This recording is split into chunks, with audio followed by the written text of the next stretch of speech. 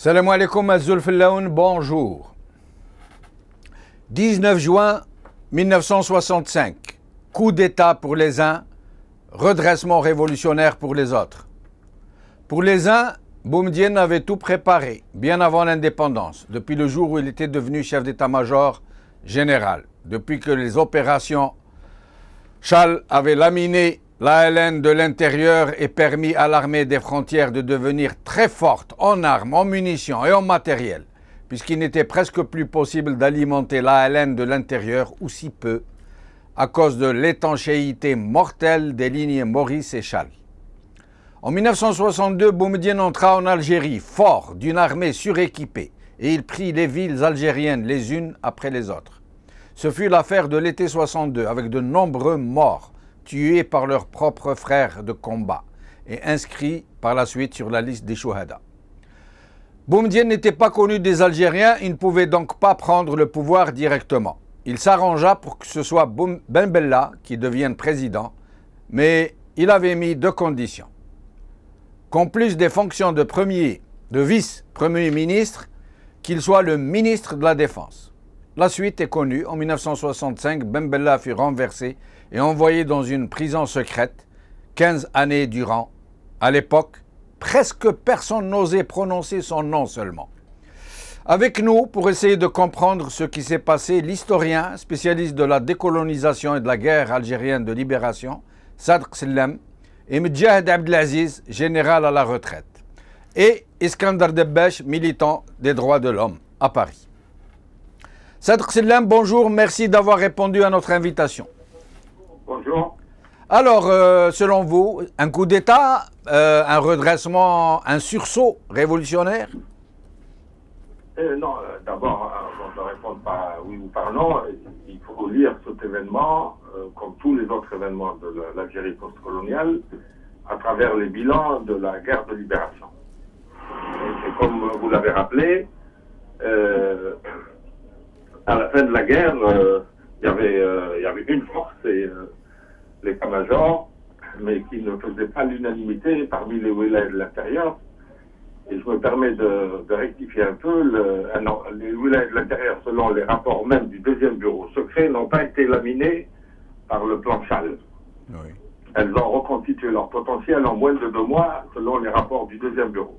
D'accord. Et ce qui fait qu'il y a et le, le, barrage était devenu étanche à partir de la bataille de Sokaras en avril 1958. Oui. mais ça n'a pas empêché la politique de Katiba, comme l'appelle le deuxième bureau français, de continuer d'être victorieuse. D'accord. Alors, euh, en janvier 1960, l'état-major général est créé à l'issue du général de Tripoli. Et euh, il est immédiatement entré en conflit avec le nouveau président du GPRA, c'est Benoît Bakhada. Oui qui a commencé par envoyer à toutes les wilayas une directive leur annonçant qu'elle dépendait désormais de, la présidence du Conseil et non pas de l'état-major. Donc c'est le premier grand conflit qui date de septembre 61. Et il a été suivi par l'affaire Moussa, puisque Bakhada a joint le geste de la parole où il a envoyé Moussa pour euh, diriger le COM de l'Ouest. Il voulait reconstituer les deux COM, Est-Ouest. Oui. Or, Moussa a été arrêté par le groupe Toucha. Oui. De, la manière la plus. par, l'usage de la force. Et donc, en 62, Boumedienne était très conscient du fait qu'il n'était pas, qu'il n'avait pas une légitimité totale, puisqu'il était contesté par une bonne partie des wilayas. Il reposait exclusivement sur l'armée des frontières qui, euh, qui était l'arme au pied, elle attendait l'indépendance.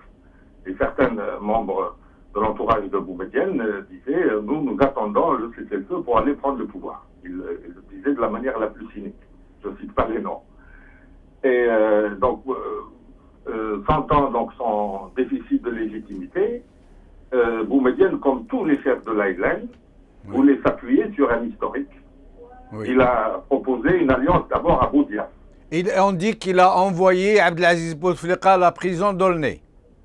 C'est exact, il y a des rapports là-dessus, il y a des photos, etc., où Bouteflika a été très apprécié dans sa culture, par son dynamisme, son sens diplomatique, euh, notamment par Bembella. Et après le refus ou le manque d'enthousiasme euh, de Boutiab, c'est Bembella qui a accepté euh, cette alliance. Et cette alliance a été concrétisée après la libération des cinq, après le, le cessez-le-feu, quand les cinq sont venus à Ouida pour prendre la parole devant les officiers donc de, de, l'état-major de l'Ouest. Oui. ils, sont tous passés à la tribune, mais seul Bembella a été applaudi, mais ça a été à l'instigation des capitaines euh, Medagri et Bouteflika. Oui. Et c'est à partir de là que l'alliance a été conclue. Et euh, cette alliance a été bénie par le général de Gaulle lui-même, qui euh, voulait, qui était très pressé de reprendre les relations avec le monde arabe. Il était renseigné sur les relations de Bembella avec Nasser. Oui. Et, et puis le roi du Maroc a suivi le mouvement. Et donc, si l'armée des frontières l'a emporté, c'est grâce à cette alliance-là, à ses soutiens extérieurs, et non pas pour autre chose. D'accord. Et puis, bon, après, les institutions de l'Algérie indépendante euh, ont été euh, adoptées à partir d'octobre 62. Mais Ben Bella voulait être un vrai président. Oui. mais euh, c'est parce qu'il voulait être un, président à part entière que les conflits avec l'état-major, avec le, le, ministère de la Défense se sont et le groupe qui l'entourait se sont multipliés de manière feutrée d'abord, euh, mais certains ont, été rendus publics quand Mbella a choisi de limoger le ministre qui lui déplaisait. Et il a limogé pas mal de ministres du groupe Doujda, euh, parmi lesquels Medari, par exemple. Oui, oui. Mais quand il a voulu décapiter le, groupe Doujda, euh, à ce moment-là, Boumediene a accepté de réagir par ce qu'il a appelé le redressement révolutionnaire. Et donc, euh, Mais est-ce que ce n'était pas plutôt un prétexte? Est-ce que la situation, aux yeux de Boumediene, n'était pas devenue mûre pour cueillir le fruit qu'il euh, visait depuis euh, bien avant l'indépendance, en fait? Est-ce que, en fait, cette, ce limogeage... Très, très, difficile à dire. Boumediene était un pragmatique. Je ne crois pas qu'il... Bon, il a, évidemment, il, il, sentait sa supériorité politique, intellectuelle par rapport à beaucoup d'autres chefs de maquis moins instruits que lui. Ça, il l'a senti il a senti depuis qu'il a présidé le tribunal qui a jugé la et ses, ses compagnons, en mars oui. 59. Oui. Le fait qu'il ait été choisi pour présider ce tribunal était déjà ainsi, alors qu'il n'était que chef du Com Ouest. Euh, je ne crois pas que. Euh, enfin, pour un historien, c'est difficile à. Ah, alors, deux, deux, questions. c'est-à-dire d'un plan préétabli qui aurait été euh, réalisé en plusieurs étapes. On peut y croire, mais il n'y a pas de preuve. Deux questions, c'est La preuve, c'est que Boumedienne, Boumedienne, euh, son entourage lui demandait, faisait pression sur lui pour qu'il euh, précipite euh, l'élimination de Là, Il a toujours temporisé. Oui. Alors, deux questions. La première est d'abord pourquoi la France, De Gaulle particulièrement, qui savait très bien qu'il, que l'Algérie allait aller à l'indépendance, même s'il ne l'avait pas déclaré, parce qu'à l'époque, ce n'était pas dans l'air du temps, mais il avait confié à son entourage direct que l'Algérie, de toute façon, devait devenir indépendante. Là où il a parlé de colomber les deux églises qui pourraient devenir colomber les deux mosquées, etc. Pourquoi, sachant qu'il allait vers l'indépendance, a-t-il déclenché les opérations Chal et d'un Et de deux, pourquoi Boumedienne s'est-il entouré de façon très proche de presque tous les déserteurs de l'armée française? Euh, Non, euh, ça n'a pas commencé comme ça. Hein. Boumedienne a commencé comme adjoint militaire de Boussouf, dans la wilaya 5. Et il était l'un des rares adjoints à avoir été pris par euh, son colonel au deuxième CCE du Caire, donc de août-septembre 57. Oui. Ce qui montre qu'il sortait du lot.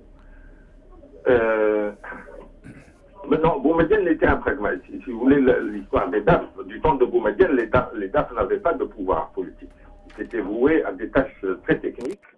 Les, DAF n'ont pris de l'importance que dans les années 80. Et c'est pas les mêmes DAF d'ailleurs. Le chef de file des DAF, c'était Chabou. Et Boutella, Boutella était capitaine, je crois, le grade le plus élevé. Euh, donc cette explication de l'essentiel de ce qui se passe en Algérie par le rôle occulte des DAF, il faut la relativiser. Elle est valable pour le deuxième mandat de Chadli. Et, même pas le premier mandat. C'est quand Mahmoud Bekher est devenu euh, tout puissant à la présidence. Et alors, De Gaulle, la politique de De Gaulle, euh, De Gaulle a parlé publiquement de République algérienne en novembre 60 à la télévision. Oui. Qui a, euh, qui a amené Michel Debré à lui présenter sa démission. Oui. oui. Euh, il avait proposé à l'avant euh, l'idée d'autodétermination le 16 euh, septembre 1959, qui a été un tournant, c'est la fin de l'Algérie française, puisque lui, il a parlé d'Algérie algérienne, malgré toutes les ambiguïtés de cette formule. L'Algérie algérienne ne signifiait pas l'indépendance, ça aurait été une autonomie interne améliorée, mais avec une présence française sur le plan de la défense, de la diplomatie. etc. Mais à son entourage direct et familial, il avait parlé de, de la, de, enfin de, de la, l'Algérie indépendante sans aucun doute, bien avant le déclenchement des opérations Chal. Ça dépend de l'interlocuteur. De Gaulle, euh, il, il- présentait l'orientation de son interlocuteur et il disait l'Algérie sera un jour indépendante, mais je ne peux pas dire quand. Et à d'autres, il, disait que la, France est pour toujours en Algérie. Restez avec nous, Sadr Sillam. Euh, nous allons euh, demander l'avis euh, du général à la retraite, euh, Abdelaziz Mdjahed. Abdelaziz Mdjahed, merci d'avoir accepté notre invitation. Alors, pour vous, c'est un coup d'État, c'est un sursaut révolutionnaire? Alors maintenant, si, vous, euh, si on se focalise sur le 19 juin uniquement, vous Oui. pouvez avoir des la lecture que vous voulez. Premièrement, euh, d'où est venu le, comment est venu le 19 juin et qui l'a fait?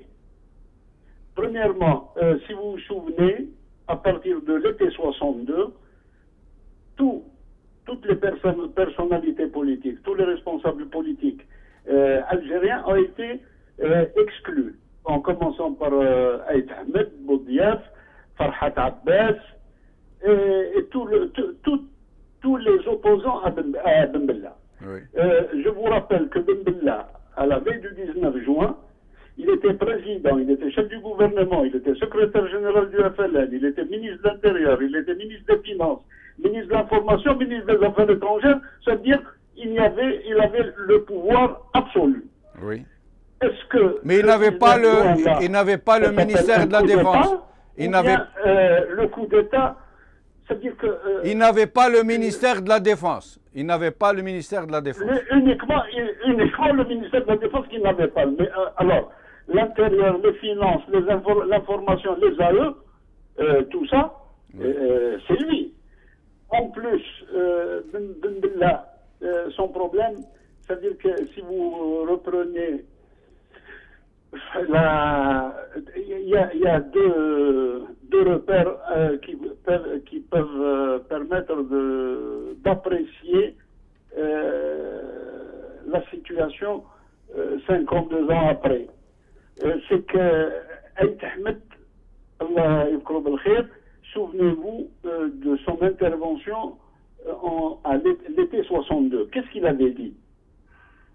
Il l'Algérie a besoin d'une bonne politique qui est le contraire de la démagogie révolutionnaire, qui est contre la politique de l'exclusion et qui est contre la politique des amis.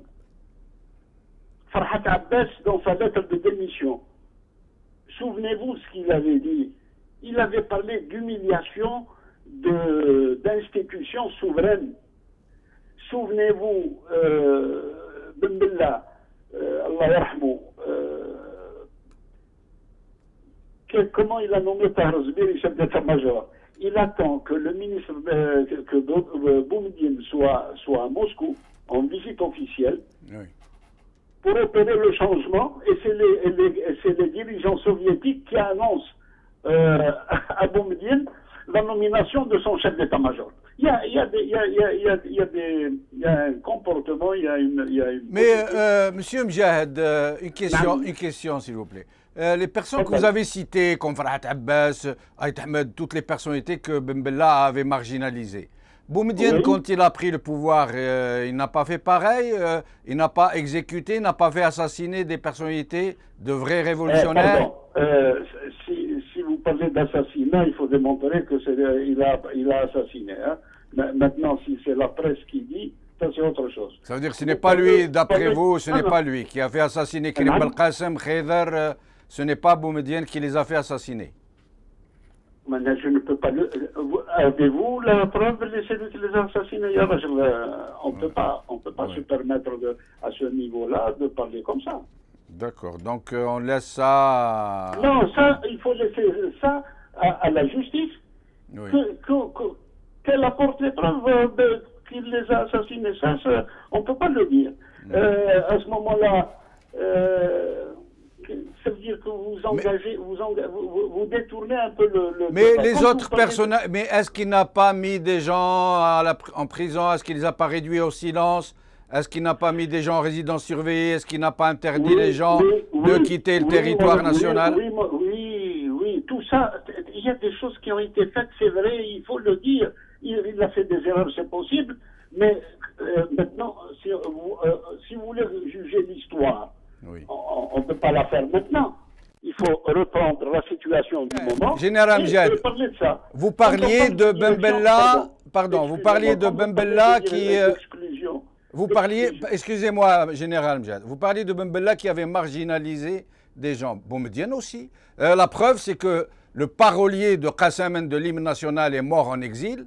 Euh, celui qui a créé le drapeau algérien et le nationalisme algérien, Salih Haj, est mort en exil et des tas de personnes, euh, euh, des gens ont été assassinés sous le, règne de Boumedienne, même si on ne sait pas si c'est lui, mais sous son règne, ils ont été assassinés sans que la justice ne se saisisse de leur affaire. Euh, il n'a pas été meilleur que Bembella, visiblement.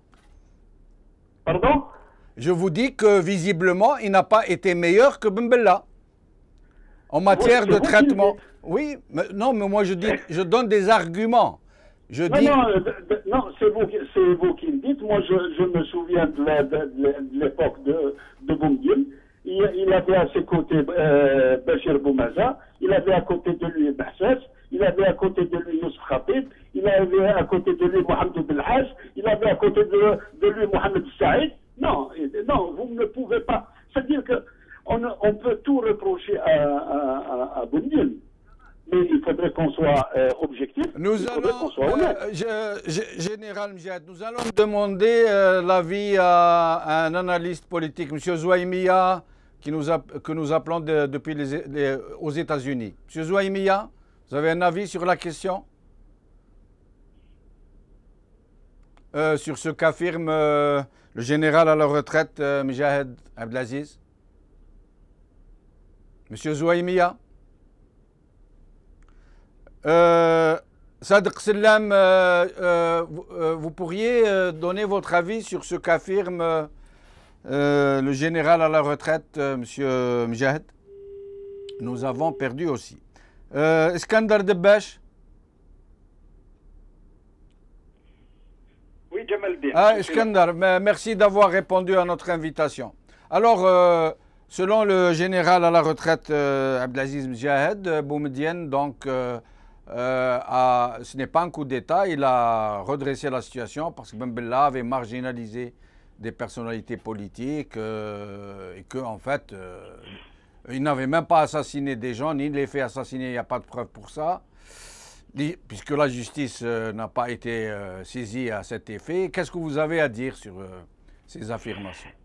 C'est Jamaldin, vous savez, Boumediene, il y avait en lui il y avait en lui du, Dr Jekyll et Mr Hyde. Tout dépend sous quel euh, point de vue on se place pour le, pour le décrire. Euh, d'une part, euh, dans la politique générale intérieure vis-à-vis des Algériens, c'était un homme de cœur.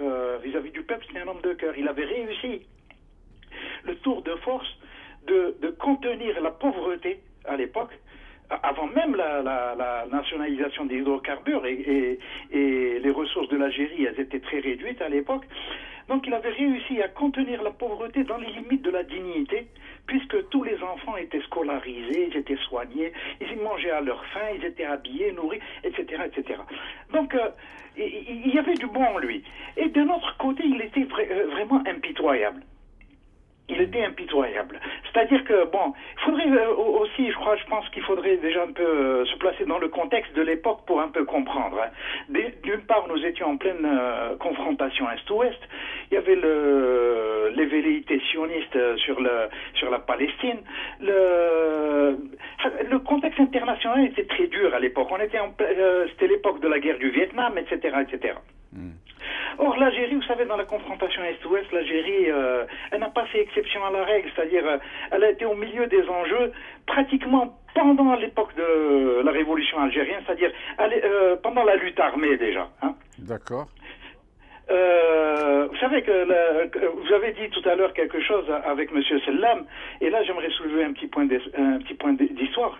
Euh, quand vous parliez du général de Gaulle, le général de Gaulle était venu en Algérie avec l'intention ferme de parachever l'indépendance de l'Algérie parce qu'elle entrait dans le processus de décolonisation qui a été engagé, enfin, il a été envisagé d'abord depuis 1943, sous la pression du président Roosevelt aux États-Unis. Pourquoi? Parce que le processus, la, la, décolonisation était la, principale, la première étape indispensable à la mondialisation. Et c'est comme ça qu'ils voyaient ça. Or, euh, et l'Algérie avait reçu, pendant la guerre de libération, avait reçu l'aval c'est-à-dire l'indépendance de l'Algérie a, été, a, reçu l'aval des, Américains et notamment de sa, mouvance la plus dure, qui était le macartisme, qui ont été favorables à, l'indépendance de l'Algérie. Pourquoi? Grâce à un tour de force qui a été joué par, euh, par euh, Mohamed Yazid sous les instructions de Abban Ramdan et euh, Mohamed Yazid avait, qu'est-ce qu'il avait fait? Ben, Il avait tout simplement affilié l'UGTA à l'époque à l'Union internationale des syndicats libres qui était d'obédience américaine. Donc euh, c'était une manière de montrer patte blanche et de leur dire nous ne sommes pas communistes. Non, non, mais en matière, en matière de, pour ce qui est du 19 juin 65, oui. pour rester dans le sujet. Euh... Pour rester dans le sujet, j'arrive, euh, monsieur, je vous en monsieur Je vous en prie. J'y arrive. Et ensuite, bon, il y a eu l'indépendance. Et là, on a commencé à constater les petites dérives, euh, c'est-à-dire de Mbela qui est parti justement vers le, euh, dans le, dans le, dans le sillage vraiment de, de la zone d'influence, qui commençait à partir dans la zone d'influence américaine. Et, et là, absolument, il fallait corriger, euh, corriger les choses. Il faut dire aussi que Boumediene, il était plutôt d'obédience du Ba'ath, dans, dans la mouvement du monde arabe. Il était du Ba'ath. Exactement. Et le Ba'ath qui était pratiquement allié à l'Union soviétique.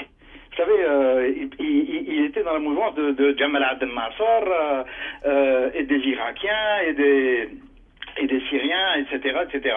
Donc euh, là, il fallait pour lui, il fallait redresser, il fallait redresser les choses et donner un autre tournant. J'ai eu, vous savez, il y a j'ai eu l'occasion de l'approcher deux fois dans ma vie. Une fois quand j'étais très très jeune, euh, à l'époque, euh, bon, je devais avoir 11 ou 12 ans. À l'époque, mon père était avait fondé le premier centre. C'était un ancien pionnier des transmissions nationales. Il avait fondé euh, le, premier centre d'écoute euh, de l'Algérie indépendante, c'est-à-dire qu'après une réunion qu'il avait tenue avec avec Boussouf en 62 au Rocher Noir, juste à la veille de l'indépendance. Et donc, c'est-à-dire en l'accompagnant, je j'avais approché une première fois Boumediene, et la deuxième fois, c'était, j'étais adulte. C'était à la conférence des non alignés, euh, c'était à la conférence des non alignés au Palais des Nations, lorsque j'ai été délégué, c'est-à-dire pour être standardiste, parce que j'étais au service de transmission de, de l'intérieur à l'époque. J'étais fonctionnaire, j'étais contrôleur des transmissions. Et, et j'avais été délégué pour servir de standardiste. Et je lui ai remis un télégramme en main propre à cette époque-là. Donc, euh, c'était un homme, c'est-à-dire lorsqu'on l'approche, quand on lui parle, c'est un homme admirable.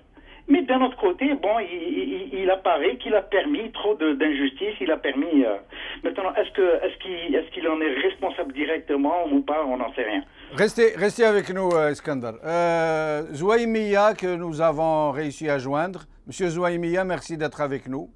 Ah, merci. Alors, selon vous, euh, coup d'État, redressement révolutionnaire, sursaut révolutionnaire?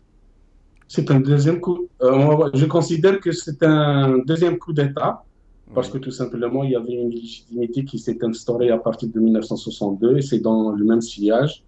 C'est, euh, ce sont les ancêtres de l'antidémocratie que nous vivons actuellement et c'est tout. Bon, peut-être sur le plan personnel, sur le plan, c'est-à-dire de probité boumédienne, était plus, euh, plus droit, c'est-à-dire en matière de ce qu'on appelle cette sincérité, il a compris exactement pourquoi nous étions indépendants. Certainement, il n'était pas un gars voleur.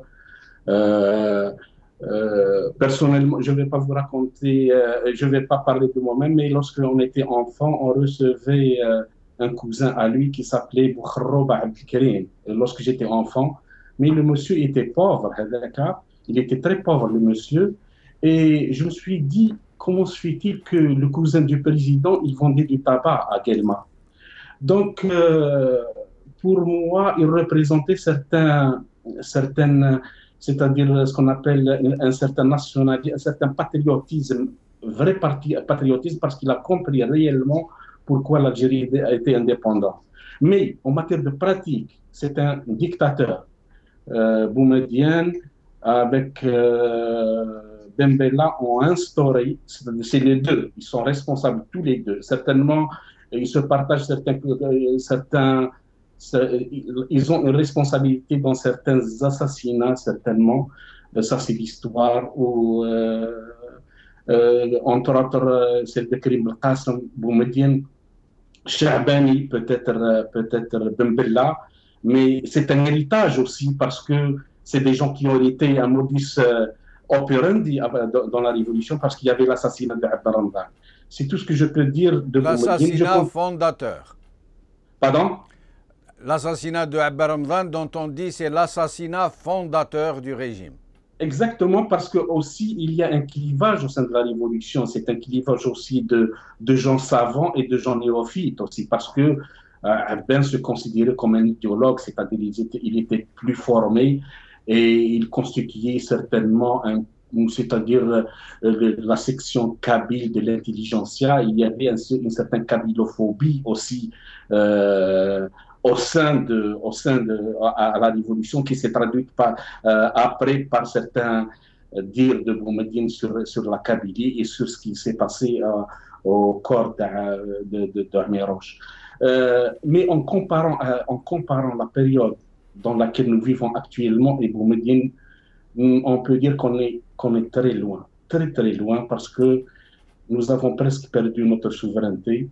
Ça veut dire que pour vous, globalement, euh, Boumedienne euh, a été euh, très positif pour dans l'histoire de l'Algérie Très positif parce que tout simplement, même s'il y avait des, des problèmes algéro-algériens, nous étions un pays respecté, c'est-à-dire nous étions un pays vraiment qui a, qui a démontré, qui est le seul pays au monde qui a tranché d'une manière vraiment presque brute, je peux dire, avec un colonialisme ravageur et misérable. C'est-à-dire nous sommes le seul pays au monde qui a demandé à, à, une force coloniale de déguerpir. Ça n'existe pas. Les, gens sont partis. Il y a des colons qui sont partis en Australie, ils sont restés. Euh, aux États-Unis, ils sont restés. Au Canada, ils sont restés. Mais nous sommes la seule société, la seule nation qui a accompli, euh, c'est-à-dire un, un, effort colossal, qui a accompli, c'est-à-dire vraiment un exploit Restez avec nous, euh, Monsieur Zouaimia. Général euh, Mdjahed, euh, donc tout le monde semble abonder dans votre sens. Boumdienne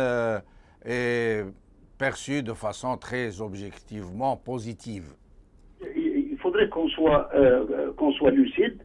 Quel était l'état de l'Algérie déjà en 65 L'état de l'État. Oui. Ça, c'est la première des choses. Il, faudrait qu'on se rappelle ça. Secondo, il faut jamais euh, transposer des modèles de l'extérieur sur notre expérience. Quand on dit euh, coup d'État, ça, sous-entend euh, une armée des militaires professionnels. En 1965, M. Bouchenouf, on avait, on avait armée de militants, des militants en uniforme c'est des gens qui ont pris le maquis, qui, sont, qui, ont rejoint la révolution pour l'indépendance nationale. monsieur Mjed, monsieur Mjed, monsieur Mjed, excusez-moi de vous interrompre. Pour moi, un coup d'État, euh, vous donnez une explication un peu, euh, je, dois dire, un peu alambiquée. Pour moi, un coup d'État, c'est un coup de force perpétré par une armée contre un président élu. Euh, qu'elle soit militante ou pas, ou professionnelle ou pas. Euh, c'est des militaires qui déposent un président élu, ça s'appelle un coup d'État. Je, demande à tous les Algériens de revenir et, euh, de lire la, lettre de démission de Farhat Abbas. Ben Bella, il a fait, lui, un coup d'État. Ben Bella, en imposant la Constitution, alors que théoriquement c'est l'Assemblée constituante qui doit, qui doit la produire, lui, il l'a il, il l'a imposé à travers un parti qui n'existait pas. Ça veut dire que, d'ailleurs, pourquoi je parle de redressement de, de, de, le 19 juin, c'est un redressement. Euh, comparer euh, la constitution de, de avec la constitution Boumedienne. De- La, manière, euh, l'approche, la réflexion, le, travail qui a été fait pour la produire.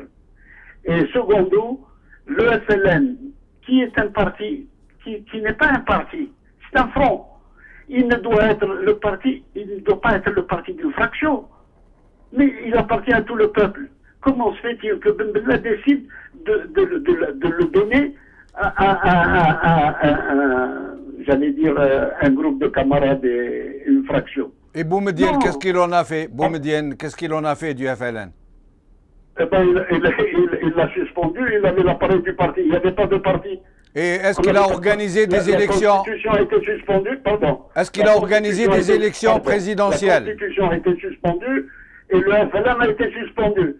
Et on avait, il avait lancé le- le- le- l'édification de l'État national et on ne devait parler de parti qu'en 78.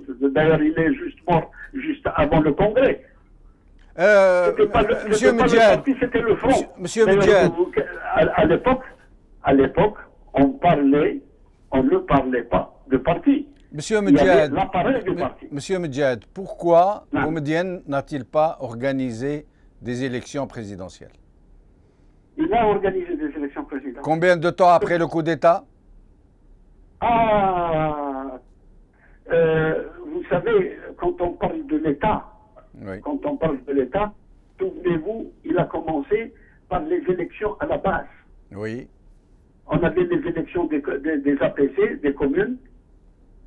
Par la suite, on est passé aux élections euh, des APW. On est passé à l'élection euh, de l'APN. C'était et après l'élection présidentielle, on a commencé, on a commencé à bâtir l'État.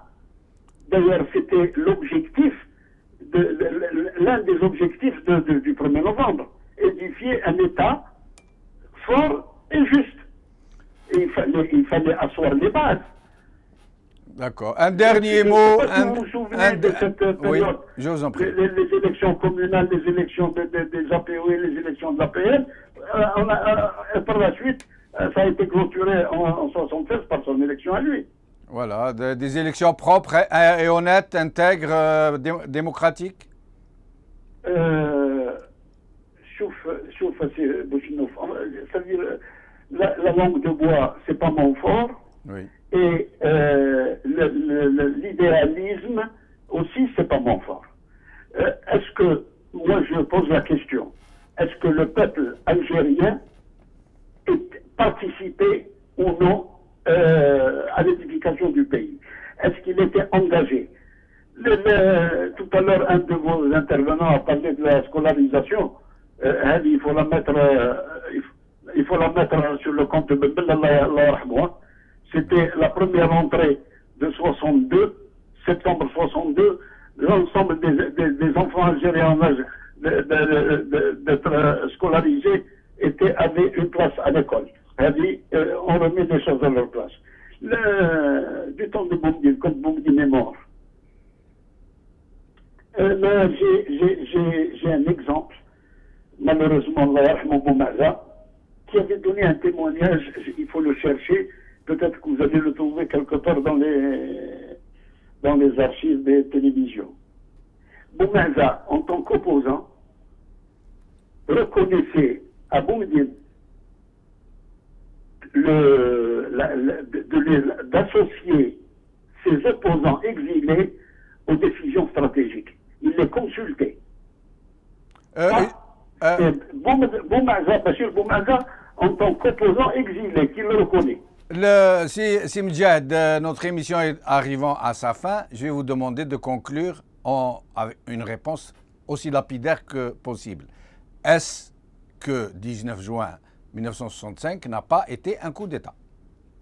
Non, c'était un redressement qui apportait une vision, une orientation stratégique et qui était dans la continuité du mouvement national depuis l'organisation spéciale en passant par la, révolution. Merci, merci Monsieur Mdjahed, merci Monsieur Zouaimia, merci Monsieur Debesh, merci Monsieur Sellem. Euh, en espérant vous revoir bientôt sur la chaîne El Magharibiya.